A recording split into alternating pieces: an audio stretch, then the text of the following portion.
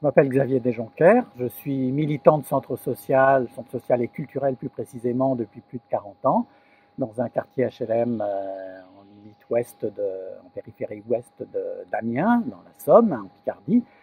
Et euh, depuis 2014, je suis impliqué euh, dans l'animation d'une table de quartier expérimentale dans le cadre d'une expérimentation nationale qui est financé par l'État et qui est coordonné par la Fédération des centres sociaux et la coordination passe en nous.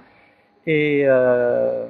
donc le, but d'une table de quartier, c'est euh, avec des associations d'un quartier, avec des citoyens euh, non engagés dans des associations, c'est développer la prise de parole des, habitants sur les enjeux concernant leur vie, le, leur cadre de vie, et euh, de susciter leur implication, leur participation dans euh, les discussions avec les pouvoirs publics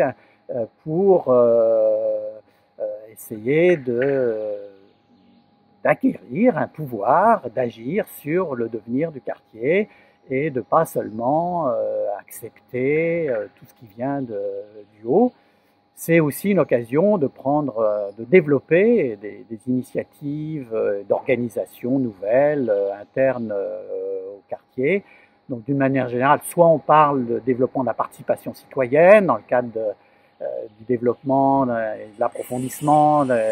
la démocratie locale, de la démocratie de proximité, mais même parler de participation citoyenne, ça veut souvent dire que les pouvoirs publics euh, nous invite euh, à nous exprimer, à participer, mais à participer à la chose des institutions. Euh, parler de pouvoir d'agir, c'est vraiment dire, parler de citoyens qui se prennent en main et qui vont quelque part imposer leur pouvoir pour influer sur les décisions publiques